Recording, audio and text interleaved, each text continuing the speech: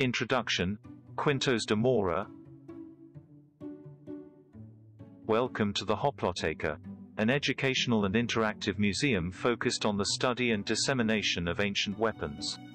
The objective of this museum is to demonstrate that objects from the past, such as weapons, constitute a vital source of information for discovering cultures and ways of life that have disappeared. For this it is necessary to develop a rigorous and conscientious scientific study, because only in this way will we obtain information on fields as diverse as technology, war, hunting, commerce, society or religiosity. Before delving into the subject, let's review the history of these collections, whose origin dates back to 1979.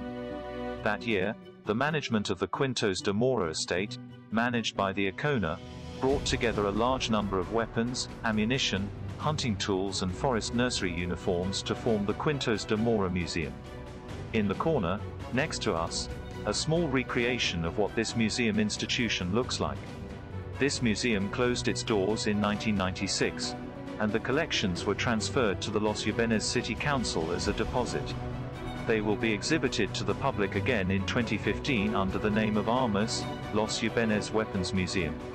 In 2021 the museum renews its exhibition and discourse, becoming the Hoploteca, Museum of Ancient Weapons.